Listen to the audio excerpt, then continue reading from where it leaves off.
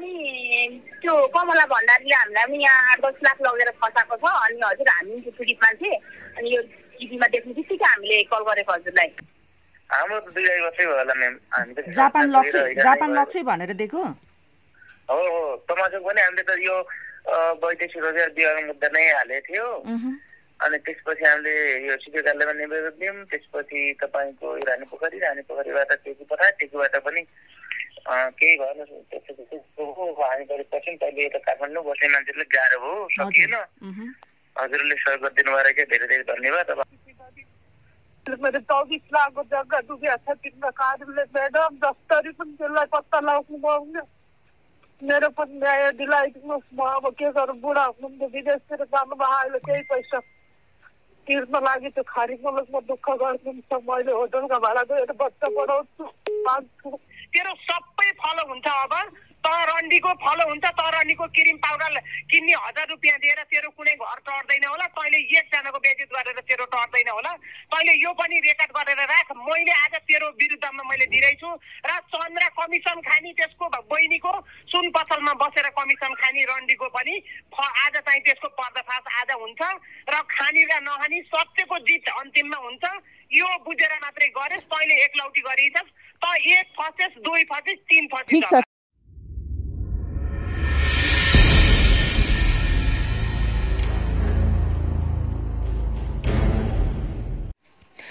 दर्शकबिन नमस्कार अनि हार्दिक स्वागत गर्न चाहन्छु। म गङ्गा लामा तपाईँहरू हेर्दै हुनुहुन्छ गुड टिभी। तपाईँहरू माझमा आज फेरि म एउटा एक्सक्लुसिभ भिडियो लिएर आएको छु। तपाईँले यो भिडियो अन्तिमसम्म हेर्नुहोला र धेरैभन्दा धेरै सेयर गर्नुहोला।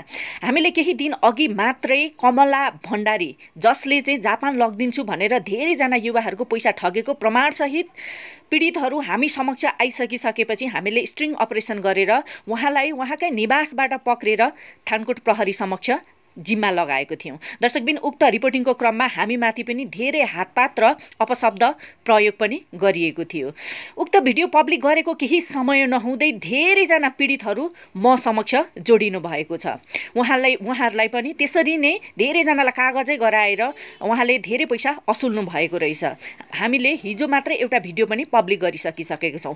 त्यो एउटा नमुना मात्रै हो। दर्शकबिन आजसम्ममा पनि धेरैजना पीडितहरू म समक्ष जोडिनु भएको छ। उक्त पीडितहरूको छोटो कल रेकर्ड मैले तपाईँहरू माझमा यस भिडियोमा राखेको छु। र अर्को कुरा दर्शकबिन हामीले जब कमला भण्डारीलाई प्रहरी थानकोटको प्रहरी बिटमा छोडिसकिसकेपछि त्यहाँबाट वैदेशिक रोजगारमा लगिएको भन्ने इन्फर्मेसन मैले हिजो त्यहाँ थानकोट प्रहरीमा फोन गर्दा इन्फर्मेसन पाएको थिएँ। तर आजसम्म पनि उक्त कमला भण्डारीले मलाई फोन गरेर तँलाई म फसाउँछु एक फसाउँछु दुई फसाउँछु एक फसेस दुई फसेस तँलाई म अदालतमा आज जाँदैछु तेरो विरुद्धमा उजुरी दिनको लागि भने जस्ता खालका तथा नाम गाली बेजतीसहित धम्की दिने क्रम रोकिएको छैन। के कमला भण्डारी छुटिएकी हुन् अथवा उनलाई भित्र राख्दाखेरि पनि मोबाइल चलाउन दिएको छ? तपाईँले यो भिडियो हेरिसकेपछि के भन्न चाहनुहुन्छ कमेन्ट गर्न नबिर्सिनुहोला र यस्ता ठग दलालहरूलाई कसैले संरक्षण गर्दैछ भने तिनीहरूलाई चाहिँ दबाब दिनको लागि पनि यो भिडियो धेरैभन्दा धेरै सेयर गरेर सम्बन्धित निकाय समक्ष पुर्याइदिनुहोला दर्शकबिन अब म राख्दैछु पीडितहरूको गुनासो त्यसपछि कमला भण्डारीले मलाई दिनुभएको धम्की। सुन्नुहोस् यो छोटो क्लिप। हजुर नमस्कार। हजुर नमस्कार। हजुर यो गङ्गा हजुर। हजुर हजुर भन्नुहोस् न को बोल्नु होला? हजुर के बोल्नुभएको होला? यहाँ हामीले टिभी टिभीमा न्युजमा देखेर नम्बर टिपेर हजुर। को बोल्नुभयो तपाईँ? हामी त्यो कमला भण्डारीले हामीलाई पनि यहाँ आठ दस लाख लगेर फसाएको छ। अनि हजुर हामी पीडित मान्छे। अनि यो टिभीमा देख्ने बित्तिकै हामीले कल गरेको हजुरलाई। प्रमाणहरू छ तपाईँहरूसँग पैसा दिएको? छ छ, चार पाँचजनाको कागज बनाएको छ। एकजनाले चाहिँ वैदेशिक रोजगारमा मु- अँ, मुद्दा हालेर त्यसपछि पक्राउ पुगेछ ए हजुर यो न्युजमा देखिराख्नु नि हजुर बहिनी हो। हजुर हजुर हो। हजुर हजुरलाई चाहिँ धेरै धेरै धन्यवाद। हामी पनि एकदम पीडित हो यसरी खोजिरहेको थियौँ। हजुर एक एकैछिन ल हजुर भन्नुहोस् त तपाईँको नाम भन्नुहोस् त। मेरो नाम सरिता नेपाली। हजुर। बुढामा मनबहादुर सर थियो अनि अर्को दाइको पनि फस्या छ प्रकाश भट्टराई पनि हाम्रो त मुद्दा पहिल्यै हाल्यो। अब दुई वर्ष अगाडि हो। हजुर। अझसम्म पनि पत्ता लगाउनु भएको छैन अब कोही काठमाडौँ आफ्नो मान्छे पनि त्यस्तो कोही नहेर्नु अब त्यस्तै दखमा पारेर कहिल्यै केही कहिल्यै केही भन्नु मलाई भेट्न काठमाडौँ आएको मेरो घन्टा यस्तोसम्म गरिब मलाई कति दुःख दुःख कति मेरो चौबिस लाखको जग्गा डुबेको छ तिम्रो कारणले म्याडम जसरी पनि त्यसलाई पत्ता लगाउनु पाउने मेरो पनि न्याय दिलाइदिनुहोस् म अब के गरौँ बुढा हुनुहुन्छ विदेशतिर जानुभयो अहिले केही पैसा तिर्न लागि त्यो खारी मुलुकमा दुःख गर्नुहुन्छ मैले होटलका भाडा गएर बच्चा पाल्छु उहुँ। उहाँले धेरै चिन्ता दिनु भएको छ म्याडम जसरी पनि उहाँलाई पत्ता लगाउनु भयो भने मेरो पनि न्याय दिलाइदिनुहोस् म हिजोदेखि यति खुसी भएको छु तपाईँ तपाईँको चाहिँ कति पैसा छ त्यहाँ खास? मेरो साढे चार लाख नगद हो? हामी त्यसपछि पाँच रुपियाँ ब्याजमा ढाई लाख गाडी साढे तिन लाख अटो पास गरेर चौबिस लाखको जग्गा डुबेको थियो पाँच जग्गा थियो सुर्खेत। अन्त साढे तिन लाख कामेर अटो पास गरेर त भने मिटिङमा मागिएपछि जग्गा डुब्दो रहेछ जग्गा पनि डुबे चौबिस लाख तपाईँलाई पनि कहाँ तपाईँलाई पनि जापानै लग्छु भनेर कुम, कहाँ त गएको नै होटलमा बुढालाई पहिला गुजरात गर्नु काम होटलमा अनि त्यही गुजरात अब होटलमा काम गर्दाखेरि अब त्यस्तो कम कमाइ थियो सेलरी अब जापान बुढाबुढीलाई जापान लग्छु छोरालाई लग्छु उता ढाई लाख रुपियाँ सेलरी भाइ त्यस्तो हातसी भए मान्छे किन बस्नुहुन्छ भने सोझो हुन्छ कि? मेरो बुढा त्यही साठी चाहिँ मानेर ताता पानीको जग्गा त्यो पास गरेर पैसा तानेर उता दिएर जग्गा पनि डुब्यो पहिला पहिला दुई महिना तिन महिना पछि आउँछ भित्र रोक्नुहोस् रोक्नुहोस् भन्नुभयो पछि पानै उठाउनु भएन लास्टमा अब त्यत्रो नौ दस महिनासम्म बसालेर पछि लास्टमा साउदी जानुभयो। अनि पछि पछि त कहिले केही पनि थर्काउने त अहिले गरे मुद्दा हालिछस् त काठमाडौँ आएर मलाई पक्रिले यस्तो भन्ने कहिले केही भनेर थर्काउने त्यस्तो गर्नुभयो पाँच छचोटि काठमाडौँ गएर पैसा पनि ढाई तिन लाख खर्च गरिसके सबैलाई अब काठमाडौँ मान्छे अलिकति पैसामा खायो को हिँडिदिन्छ ट्याक्सीहरू यताउता लिँदाखेरि धेरै खर्च गरे धेरै खर्च गरे केही लागेन लास्टमा थाकेर आजकल बसिया थियो अनि त्यस्तै हिजो देखेर के खुसी लाग्छ म्याडम जसरी पनि गरिदिनु होला त्यसलाई भेटाएपछि अनि तपाईँहरूको अर्को व्यक्तिको पनि छ पैसा लिनु? प्रकाश भट्टराई भन्ने हाम्रो त्यो दाई पढ्नुहुन्छ उहाँ गएर दुई जेठ गएको पैसा त्यसले त्यस्तरी लोभमा फसाएर यताउता या त्यहाँ गफ लाएर त्यस्तरी फसाएर त्यत्रो पैसा दिन्छ अहिले ब्याजै तिर्नु त कति छ कति। पैसा पाँच रुपियाँ। अनि उसलाई तपाईँले प्रहरीको सहारा लिनु भएन त? प्रहरीलाई खबर गर्नु भएन? हजुर? प्रहरीलाई खबर गर्नु भएन त? प्रहरीलाई खबर गरे मुद्दा हाले कागज पनि छ। प्रहरीलाई खबर गरे कहिले अब हामी जस्तो गरिब गुबुरालाई कसले टेर्छ र कहिले प्रहरीले पनि वास्ता केही गर- जस्तो लागेन ए ए अनि तपाईँ चाहिँ हिजोको भिडियो हेरेर कल गर्नुभएको? त्यही नम्बर टिपेर मैले कल गरेँ। हजुरलाई त्यति बेला त कमला भण्डारी भन्नु साथ मलाई यस्तो मेरो पहिला पैसा पहिला सुरु मेरो पैसा फसिया रहेछ। दुई ढाई वर्ष भइसक्यो त्यहाँदेखि पछाडि अरूको पैसा पनि फसिया रहेछ ए हुन्छ हस् के भन्न चाहनुहुन्छ त तपाईँ? मेरो त अब त्यो पैसा मेरो अब त्यसको कारण मेरो चौबिस लाखको जग- जग्गा पनि डुब्यो म के गरौँ कसरी?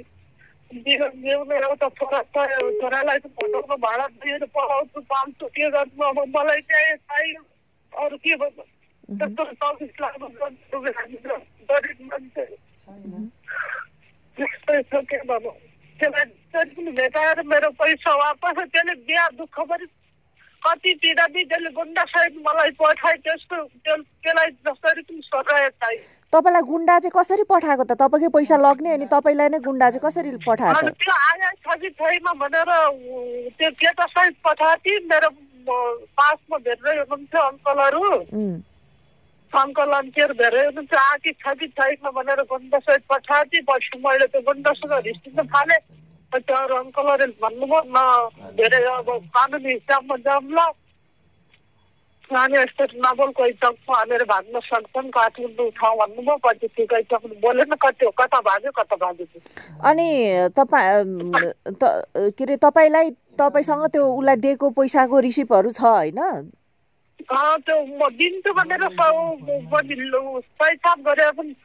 कागज गरेको पनि छ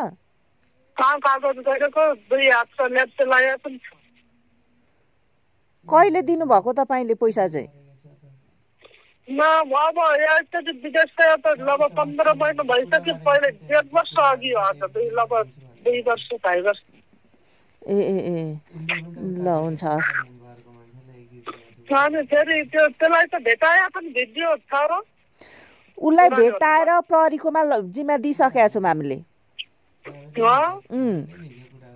अनि मैले आउनु पर्ने अघि नत्र म पनि पुग्छु त। त्यसलाई त त्यसले बिहा पिँडाएर त्यस्ता बिहा त मलाई यति ल हुन्छ म्याडम। अब यस्तै छ दुखीहरूलाई कोहीले तर मिडियाले धेरै गर्नु भएको छ। हिजोदेखि यति खुसी भएको छु कोही छैन साथ सपोर्ट दिनु मलाई मिडियम पनि धेरै थाहा थिएन अब हुनु त यस्तो युट्युबमा हेर्थेँ तर जान पनि डर लाग्थ्यो कसो भनौँ कसरी भनौँ भन्ने लाग्थ्यो कस्तो लाग्थ्यो हिजोदेखि यति खुसी लाग्छ हजुर नमस्कार।